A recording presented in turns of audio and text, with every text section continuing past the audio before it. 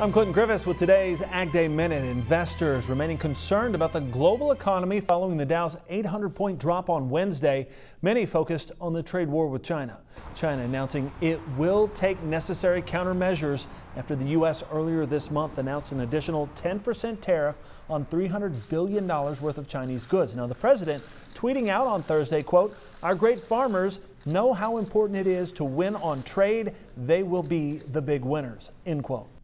The new Rural Main Street Index shows the trade war is continuing to have a negative impact. The monthly survey of bankers showing the numbers dropped to the lowest level in two years, falling below growth neutral for the second time this year. The overall index dropped to 46.5 from 50.2 in July. The researcher behind the survey, Ernie Goss, says the trade war with China and the lack of passage of the USMCA are driving growth lower. Farming history is about to be honored in southern Illinois. This marker will be placed at the site where the state's first soybeans were planted in Alton, Illinois.